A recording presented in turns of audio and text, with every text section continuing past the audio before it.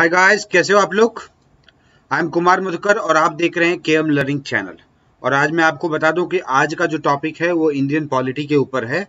और Indian polity का जो पहला लेसन होता है, जिसको हम लोग बोलते हैं preface preamble content introduction right तो प्रियम्बल को हम बहुत सारे नामों से जानते हैं, लेकिन हमारे इंडियन कॉन्स्टिट्यूशन के पहला चैप्टर जो प्रीफेस होता है, उसे हम लोग प्रियम्बल बोलते हैं राइट तो प्रियम्बल जो होता है, एक इंट्रोडक्शन टू इंडियन कॉन्स्टिट्यूशन या इंट्रोडक्शन टू कॉन्स्टिट्यूशन या इंट्रोडक्शन टू बुक करेक्ट तो इसी के पॉइंट ऑफ़ व्यू से मैं आज आपके सामने प्रियम्बल के बारे में वो सारे पॉइंट्स को कवर करने वाला हूँ, जो आपके एग्जामिनेशन के पॉइंट ऑफ़ व्यू से प्रीलिम्स के पॉइंट ऑफ़ व्यू से मेंस के पॉइंट ऑफ़ व्यू से इंपॉर्टेंट होगा।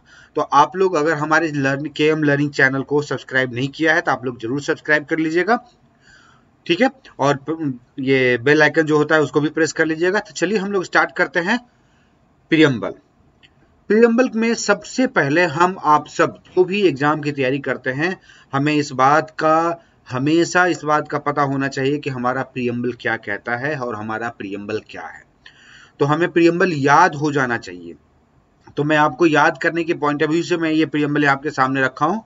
तो आप एक बार गो थ्रू कर लीजिए we the people of India having solemnly resolved to constitute India into a sovereign, socialist, secular, democratic republic and to secure all its citizens.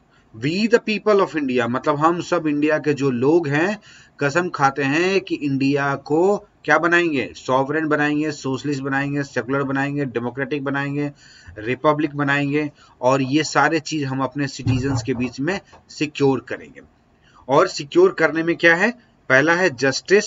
Justice में कौन कौन सा? Social justice, economic justice and political justice दूसरा है liberty liberty of what liberty of thought expression belief faith and worship third point है equality आप देखते होंगे इक्वालिटी के रिगार्डिंग बहुत सारे आर्टिकल्स भी हैं हमारे इंडियन कॉन्स्टिट्यूशन में।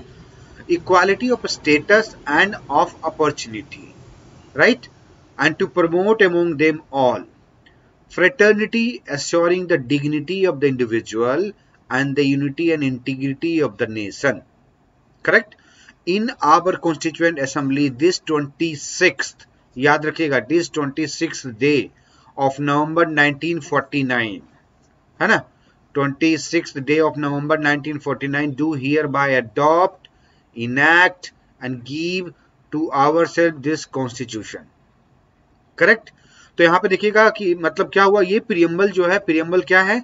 Mirror of the constitution introduction to the constitution and this preamble is the philosophy of our constitution आपको पता होगा कि प्रियम्बल में कुछ सिग्निफिकेंट पॉइंट्स मैं डिस्कस कर देता हूँ आपको। कि ये देखिएगा रेड कलर से मैंने दिखाया सोशलिस्ट एंड सेकुलर ये बाद में ऐड किया गया है कॉन्स्टिट्यूशनल अमेंडमेंट के द्वारा।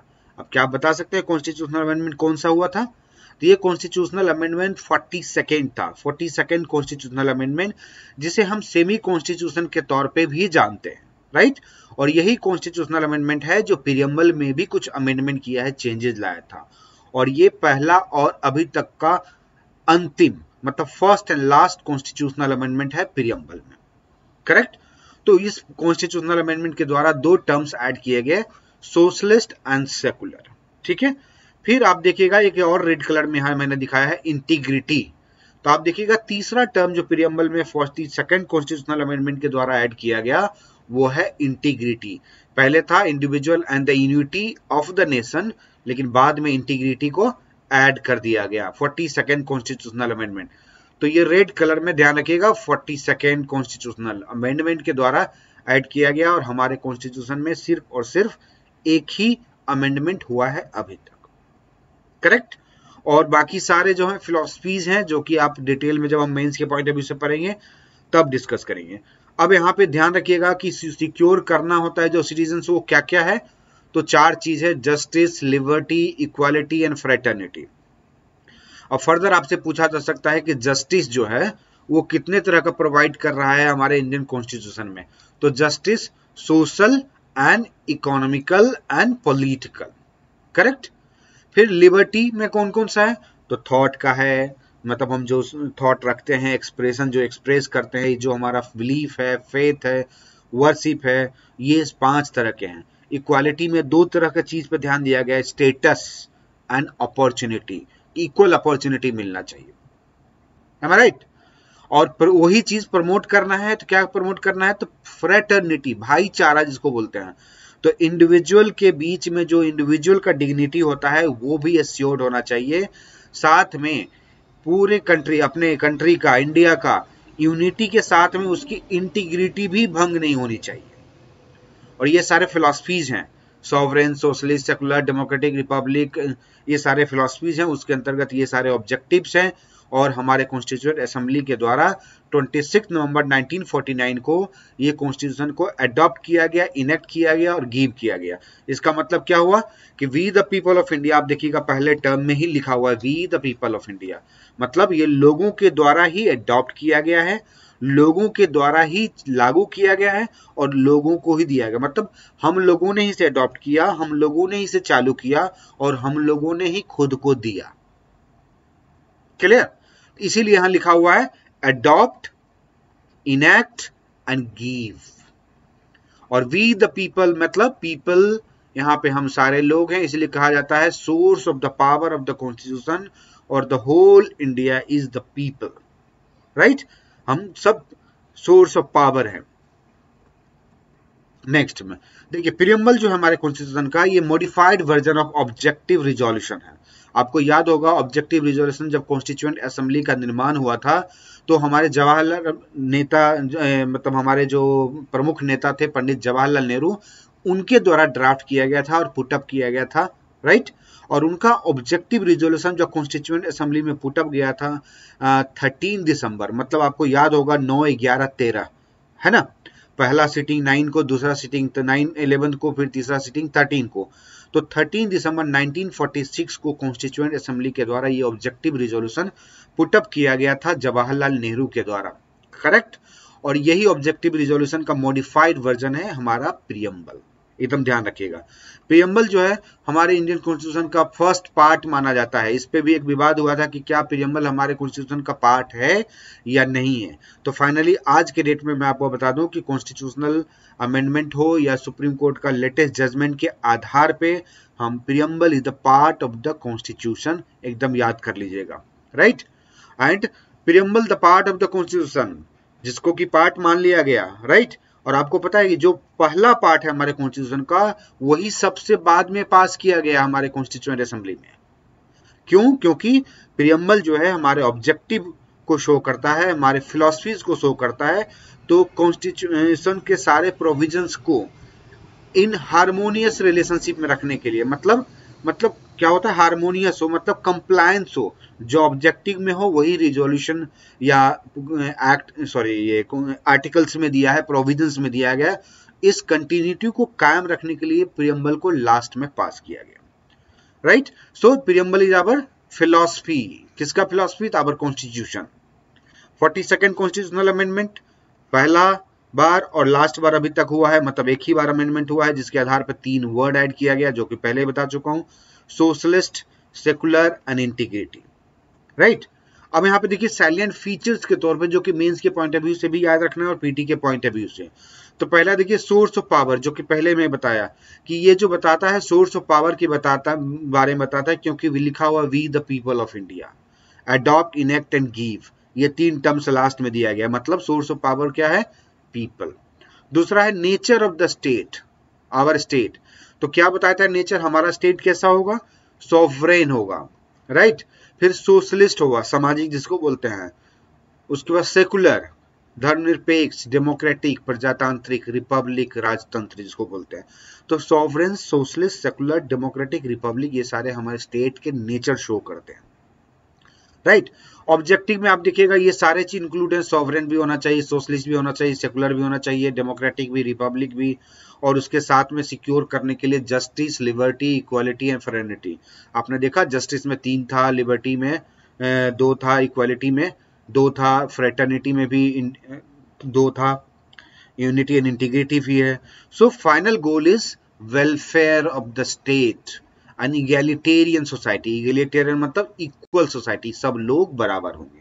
इसीलिए देखिएगा आर्टिकल 14 क्या होता है? Equality of the equal equality before the law and equal protection of the law article 14 में लिखा हुआ है ना? तो इगैलिटेरियन सोसाइटी मतलब सब लोग बराबर होंगे। फिर तो आर्टिकल 39 जब पढ़ेंगे तो वहाँ देखिएगा कि इकोनॉमिकल स्टेटस को इक्वल बनाने के लिए भी स्टेट गवर्नमेंट को पावर की पावर किया गया है कि कुछ स्टेप लिया जा सकता है। राइट फिर फीचर्स में आप देखिएगा, हमारे प्रियम्बल को प्रियम्बल से ये इन्फॉर्मेशन पता लगता है कि हमारे कॉन्स्टिट्यूशन कब अडॉप्ट किया गया, कब इनेक्ट किया गया और कब पीपल को हमारे देश को दिया गया।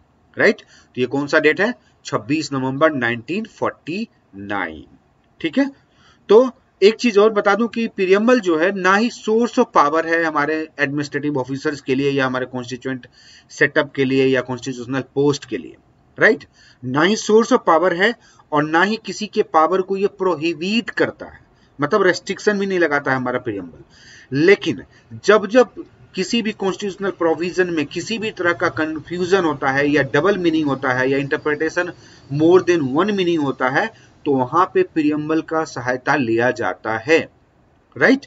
तो मतलब वेरी बर देर इज़ एम्बिग्यूटी मतलब डबल मीनिंग निकल रहा है कॉन्स्टिट्यूशनल प्रोविज़न का।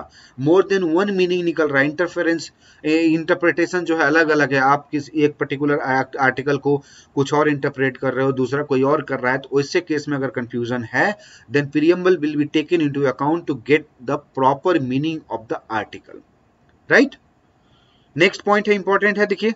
Preamble is non justiciable non justiciable मतलब of the preamble can not be in force before the court right तो मतलब क्या हुआ? सुप्रीम कोर्ट में ये, या कोर्ट में प्रियम्बल के कोई भी प्रोविजंस को अगर वायलेट होते हुए हम लोग देखते हैं तो हम लोग कोर्ट अप्रोच नहीं कर सकते हैं इसको इंप्लीमेंट करने के लिए। लेकिन आपको एक चीज़ ध्यान रखना होगा कि प्रियम्बल में बहुत सारे ऐसे फिलोसफीज या टर्म्स है जिसको हमारे कॉन्स्टिट्यूशन में बेसिक स्ट्रक्चर मान लिया गया है सुप्रीम कोर्ट के आधार पे। राइट तो जैसे सॉवरेंटी है सोशलिस्ट है सेकुलर है, ये सब ऐसे टर्म्स हैं जो क्या मान लिया गया है? बेसिक स्ट्रक्चर आपको पता होगा कि केशवानंद भारती केस में क्या हुआ था? एक डॉक्ट्राइन लाया गया था फिलोसफी लाया गया प्रिंसिपल लाया गया कि amendment can be done to the any part of the constitution but basic structure should not be violated right मतलब क्या हुआ? पार्लियामेंट को पूरा पावर दिएगा कि भाई कॉन्स्टिट्यूशन के किसी भी प्रोविज़न को आप टच कीजिए कट कीजिए पेस्ट कीजिए अल्टर कीजिए, लेकिन that will be the subject to the doctrine of basic structure right तो हमारे पीएमएल में बहुत सारे पार्ट्स हैं या टर्म्स हैं जो बेसिक स्ट्रक्चर है तो अल्टीमेटली अगर वायलेट होगा तो क्या होगा? सुप्रीम कोर्ट ऑटोमेटिकली एक्टिव हो जाएगी या उसको स्ट्रक डाउन कर देगी। करेक्ट अब कुछ इंपॉर्टेंट कोटेशन जो हमारे प्रियम्बल के बारे में है, जो पूछा भी जा सकता है और पूछा भी जाता है। Right right? तो देखिए preamble as the identity card of the constitution N A Palkhivala के द्वारा कहा गया है कि प्रियम्बल क्या है भाई? तो हमारे कॉन्स्टिट्यूशन का एक आइडेंटिटी कार्ड है। आपको पता है ना आइडेंटिटी कार्ड क्या होता है? कि हमें गवर्नमेंट जॉब करते हैं या प्राइवेट जॉब करते हैं या स्कूल जाते हैं कॉलेज जाते हैं तो हमारा एक आइडेंटिटी के लिए आइडेंटिटी कार्ड है, जिसको देख के बताया जाता है कि अच्छा मैं वही आदमी हूँ। तो सीरियम भी सीरियली सिमिलरली प्रियम्बल भी एक आइडेंटिटी कार्ड है, जो ये शो करता है कि जो प्रियम्बल में दिया गया है, उसी का डिटेल प्रोविजंस हमारे इंडियन कॉन्स्टिट्यूशन में है। करेक्ट फिर नेक्स्ट पॉइंट में देखिए के एम मुंशी जो कोई कॉन्स्टिट्यूंट असेंबली के समय में भी थे the preamble is the horoscope of our sovereign democratic republic चूँकि एम मुंशी के समय में सोशलिस्ट और सेकुलर टर्म नहीं था तो उन्होंने ये ऐड नहीं किया। लेकिन आज के डेट में आप ऐड कर सकते हैं the preamble is the horoscope of our sovereign socialist secular democratic republic K M Munshi correct next term है अर्नेस्ट बार्कर के द्वारा जो इंग्लिश कॉन्स्टिट्यूशनल एक्सपर्ट हैं, थे उन्होंने बोला, प्रियम्बल क्या है भाई? तो हमारे कॉन्स्टिट्यूशन का की नोट मतलब प्रियम्बल किसको कहा जाता है? Preamble is the keynote to the constitution मतलब एक ऐसा नोट है जिसके आधार पे हम ये अनुमान लगा सकते हैं कि हमारा कॉन्स्टिट्यूशन क्या है। करेक्ट और ये जो लास्ट पॉइंट यहाँ पे दिख रहा है, क्या है? Preamble is the mirror of the constitution मतलब ये आप देखिएगा अलग अलग बुक में पढ़िएगा तो ये लिखा हुआ कि प्रियम्बल क्या है? मिरर है जिसके आधार पे हम अनुमान लगा सकते हैं कि हमारा कॉन्स्टिट्यूशन कैसा है, क्या प्रोविज़न दिया गया है, क्या ऑब्जेक्टिव है और क्या वेलफेयर के लिए अप्रोच है, क्या इनिशिएटिव लिए गए करेक्ट और उसके बाद whether preamble is a part of the constitution और नॉट तो ऑफ़ कोर्स पहले मैं आपको बता चुका हूँ कि यहाँ पे वेरूबेरी का केस हुआ था, एक 1960 में, जहाँ सुप्रीम कोर्ट ने बोला था preamble is not part of the constitution तो ध्यान रखिएगा Berubari case re Berubari case and exchange in claim case 1966 1960 जिसमें प्रियम्बल को बोला गया कि it is not the part of the constitution फिर केशवानंद भारती केस में फाइनली बोला गया सुप्रीम कोर्ट ने बताया कि preamble of the constitution is a part of the constitution ये पहले मैं बता चुका हूँ, जहाँ पे डॉक्ट्राइन ऑफ़ बेसिक स्ट्रक्चर के बाद प्रोपाउंड किया गया डिस्कस भी किया गया। Right right? और वहीं पे अमेंडेबिलिटी की बात भी की गई कि भाई अमेंडमेंट किया जा सकता है पार्लियामेंट के द्वारा किसी भी पार्ट को but it can be the subject to the doctrine of basic structure so it is a part of the constitution जबकि मान लिया गया है so it can also be amended but subject to the basic feature और basic structure of the constitution correct guys I hope कि आपको preamble के बारे में एक प्रॉपर आइडिया मिला होगा और आपके प्रियम्बल ये जो है not only introduction to the constitution but introduction to the Indian polity है। आपके प्रीलिम्स की तैयारी चल रही है मेंस की तैयारी चल रही हो, दोनों के पॉइंट ऑफ़ व्यू से ये वीडियो आपके लिए यूटिलिटी वाला है यूटिलाइज होगा प्रॉपर रहेगा। सो गाइज़ कीप वॉचिंग और आप लोग मेरे चैनल को सब्सक्राइब कीजिए, अपने दोस्तों के बीच में शेयर कीजिए। और कभी भी किसी भी तरह का कोई प्रॉब्लम हो तो कमेंट बॉक्स में कमेंट डालिए और मैं आपको वो कॉन्सेप्ट क्लियर करूँगा। Otherwise you can also reach me through social media like WhatsApp Telegram channel जो भी वी डिजर्व करके मैंने चलाया है, और एक बीपीएससी प्रिपरेशन करके मेरा फेसबुक पेज है, जहाँ पे आप ज्वाइन कर सकते हैं। Thank you